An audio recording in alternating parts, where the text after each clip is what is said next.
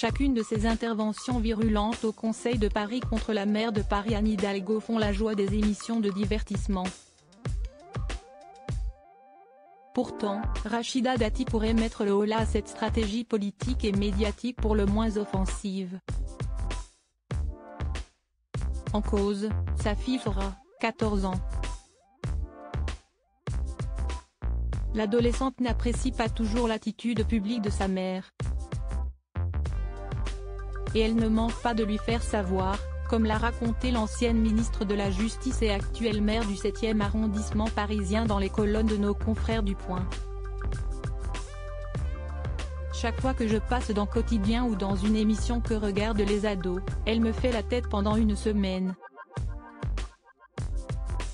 Elle trouve que j'en fais trop, explique Rachida Dati.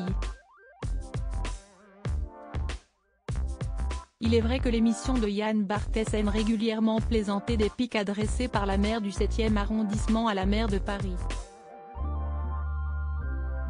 Ce qui n'amuse pas Sora Dati.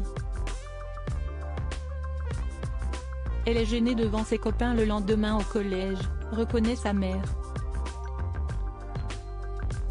Pour sa fille, Rachida Dati sait pourtant faire des concessions.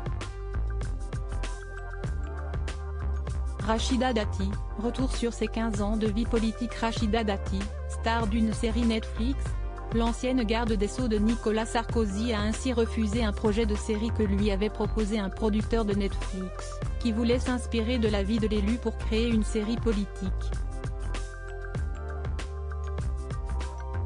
J'ai vu le truc, une enfance à la Zola dans une barre à Chalon-sur-Saône, le misérabilisme, le besoin de revanche sur la terre entière.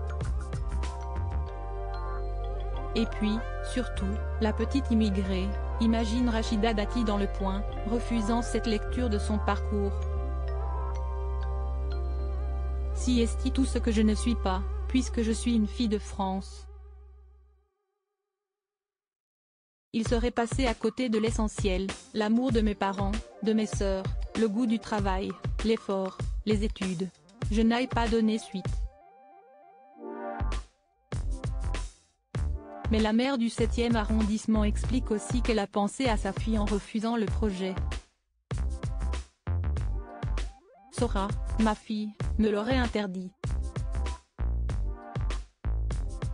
Pas question de lui imposer ça, tranche-t-elle. Crédit photo, Véan.